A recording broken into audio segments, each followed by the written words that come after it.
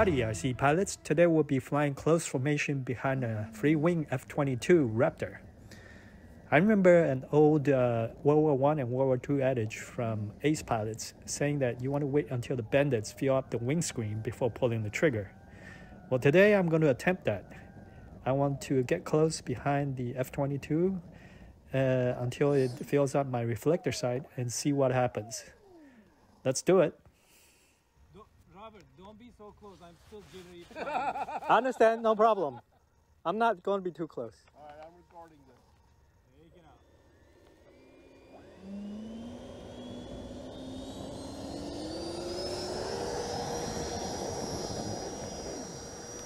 Gear up, flaps up.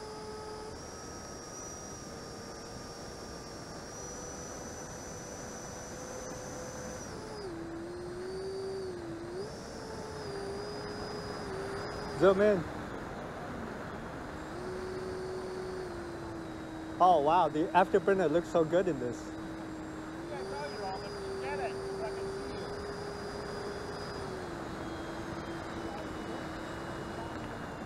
Well, I was in your, uh, I was in his wake. I got rolled.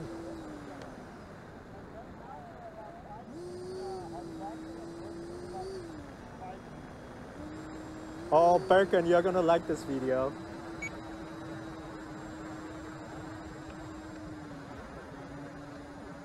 Oh wow, whenever I'm behind you, I'm in your wake.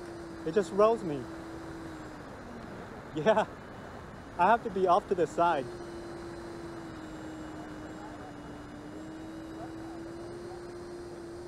It's every airplane, the heavier it is, the more wake it'll have.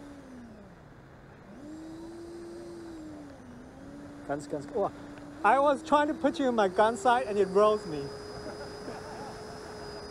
Every time I try to get behind, it rolls me. So I'm always out of position.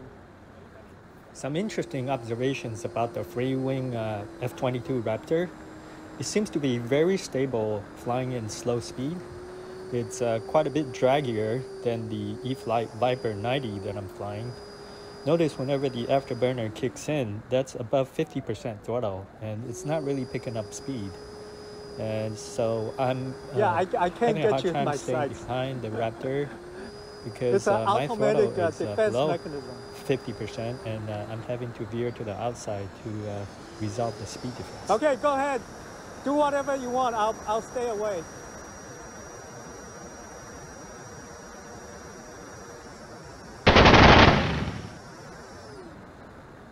Go ahead and do your aerobatics if you want.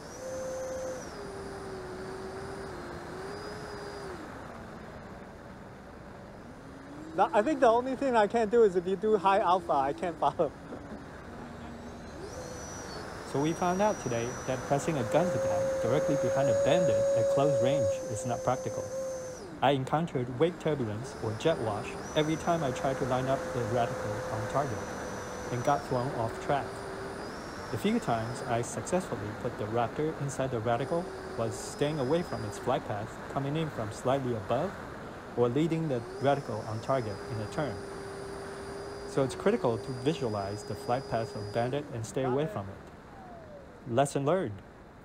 So after this long flight chasing the Freewing F-22 Raptor, I have more than 50% left in my battery, uh, which is a 6S6000. So the uh, E-flite 90 that I'm flying is uh, exceptionally um, efficient in uh, flying compared with the Freewing uh, F-22. I think uh, he has um, about 30% left on the battery.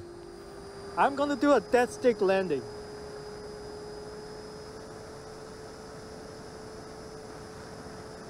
Ready? Dead stick. Dead stick. Yeah. Gears down. Oh, that may be stretching it. Flaps. Half. Flaps. Full.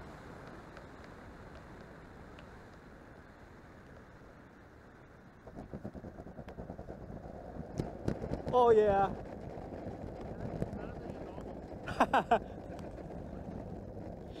Thanks to Berkin for flying smoothly in the uh, F-22 Raptor. And thanks to Simon for spotting. And thank you, audience, for watching. And please go out, fly with your friends. Have fun. See you next time.